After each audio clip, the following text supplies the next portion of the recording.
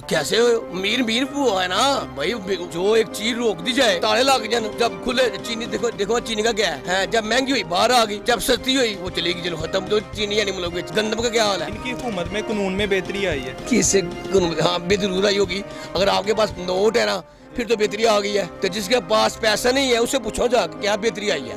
कौन सा रियासत मदीना के मुताबिक हो रहा है? जुल्फ का फैसला रियासत के मदीना के मुताबिक हुआ है। जहांगीर तरीन का जो फैसला, यार रियासत मदीना क्या बात करते हो? इनको इनको शर्म आनी चाहिए, ये कहते हुए बस। ऐसे भी अगर नवाज़ शरीफ चोर था, डाकू था तो क्यों बाहर जाने दिया? जहांगीर जहांगीर तरीन को एन क्यों दिया? चोर जितने डालते हैं ये, सब एक ही है। मांगने वाले परेशान नहीं है। वो रोज दो तीन हज़ार ले जाते हैं। जो काम करते हैं ना, जो, वो परेशान है। जिनकी तरह मिसाल तौर पर बीस हज़ार का है, जो सैलरी आजकल चल रेगुलर चल रही है। क्या बंदा बीस हज़ार में एक असरा जो पड़ते हैं वो होता है, क्या अवाम खुशल होता है? उसको कहते हैं ये मेश बेदवाशी गोग जैसा भी है। लेकिन उसके दौर में हुकूमत में मसलन के खुशहाली आती है। मुझे नहीं पता वो कैसा है, कैसा नहीं है। बूढ़ा है अच्छा है, इनको पता हो। लेकिन उसके दौर में हमने ये देखा है की खुशहाली आती है।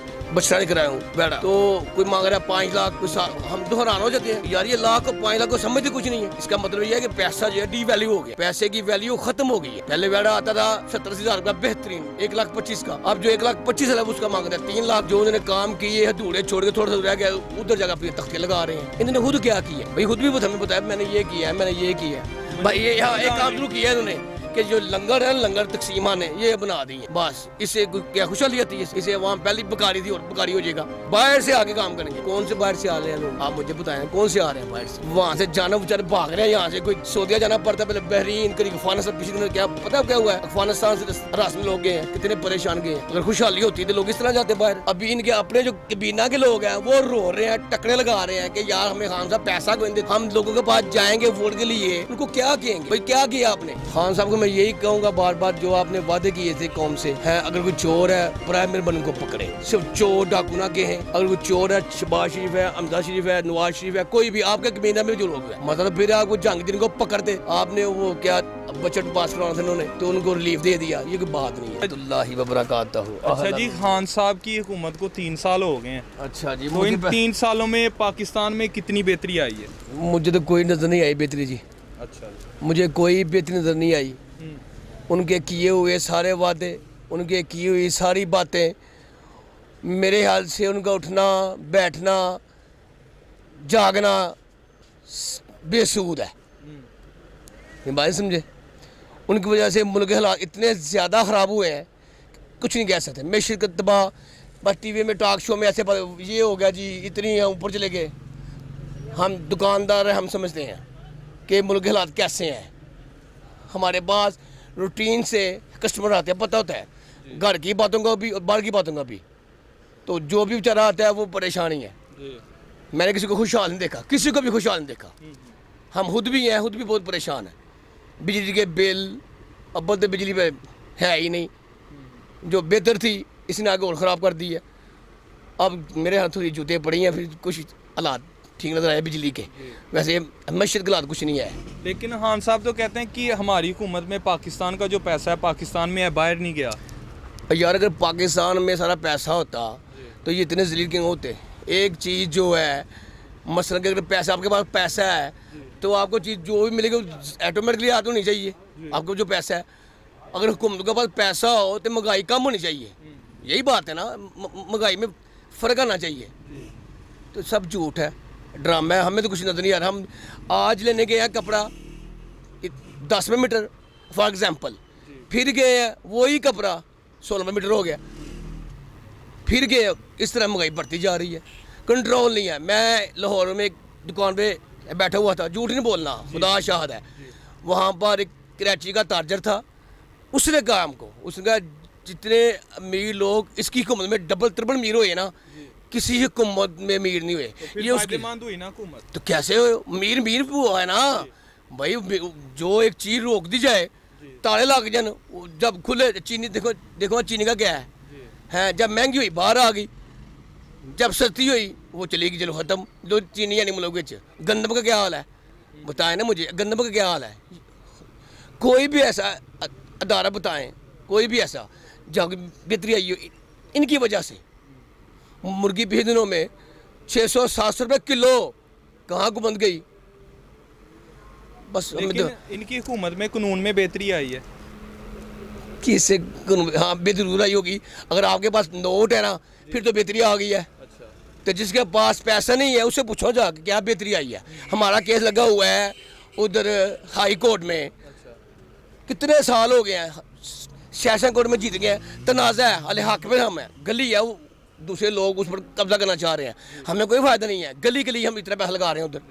लेकिन खान साहब तो कहते हैं कि हमारी हुकूमत में हर फैसला रियासत मदीना के मुताबिक कौन सा रियासत मदीना के मुताबिक हो रहा है? जुल्फ का फैसला रियासत के मदीना के मुताबिक हुआ है। जहांगीर तरीन का जो फैसला और यार रियासत मदीना क्या बात करते हो? इनको इनको शर्म आनी चाहिए ये कहते हुए बस। सिर्फ़ ये कहते हुए। इनको ये शर्म आनी चाहिए। मैं नवाज़ शरीफ का फेवर नहीं हूँ। मैं सिर्फ अगर नवाज शरीफ चोर था डाकू था तो उन्हें क्यों बाहर जाने दिया जहांगीर जहांगीर तरीन को एन क्यों दिया शो जितने डालते हैं ये ये सब बेकी हैं लेकिन नवाज शरीफ को तो उन्होंने एक इलाज ही के है। लिए भेजा है आप वो देख रहे हैं सब जो इलाज हो रहा है उनका वो आप भी देखते हैं मैं भी देखता हूँ जो इलाज हो रहा है हैं कैसे उन्होंने भेजा है सबको पता है ਅੱਛਾ ਖਾਨ ਸਾਹਿਬ ਕਹਿੰਦੇ ਨੇ ਕਿ ਪਾਕਿਸਤਾਨ ਜਿਹੜਾ ਨਾ ਆਪਣੇ ਪੈਰਾਂ ਤੇ ਖੜਾ ਹੋ- ਹੋ ਰਿਹਾ ਹੈ ਕੀ ਕਹਿੰਦੇ ਹੋ पाकिस्तान पैन खड़ा हो रहे हैं ਹਾਂਜੀ तरक्की हो रही है पाकिस्तान से किस चीज़ ने तरक्की भी हर कोई दसो किड़े काम बेहतर हो रही है। मैं तो पहले आपको कह चुका हूँ कि कौन सी मैशत बेहतर हुई है? किस चीज़ में? किस इदारे में? एक पैसा मुल्क में आता हो तो मैं पहले भी आप कह चुका हूँ कि उसमें तो महँगाई कंट्रोल होनी चाहिए अवाम खुशहाल होनी चाहिए। अगर आपकी पकड़ में पैसा है मेरे पास पैसा है तो मुझे तो इंजॉय करना चाहिए। तो जिनके पास पैसा था थोड़ा बहुत स्वैल पोष जिनको कहते हैं वो बेचारे ज़्यादा परेशान है। मांगने वाले परेशान नहीं है। वो रोज़ दो तीन हज़ार रुपये ले जाते हैं। जो काम करते हैं ना जो वो परेशान है। जिनकी तरह मिसाल तौर पर बीस हज़ार रुपये तरह है जो सैलरी आजकल चल रही रेगुलर चल रही है। क्या बनता है बीस हज़ार रुपये में? उसके बेचारे का चूल्हा नहीं जलता उसका।